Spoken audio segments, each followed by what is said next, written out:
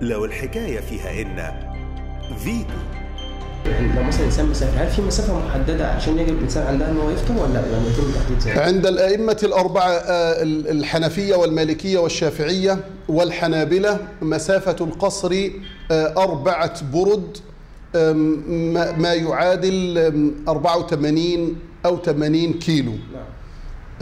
أقل من هذا لا تقصر الصلاة ولا يفطر. نعم. عند ابن تيمية وابن القيم والشوكاني وغيرهم أنه كل ما يطلق عليه سفر تقصر فيه الصلاة ويجوز للإنسان فيه أن يفطر. فهذا موجود وهذا موجود. لكن هو المدار دلوقتي. هو يجد مشقة في في السفر إذا صام ولا لا يجد؟ الأصل جواز أن يصوم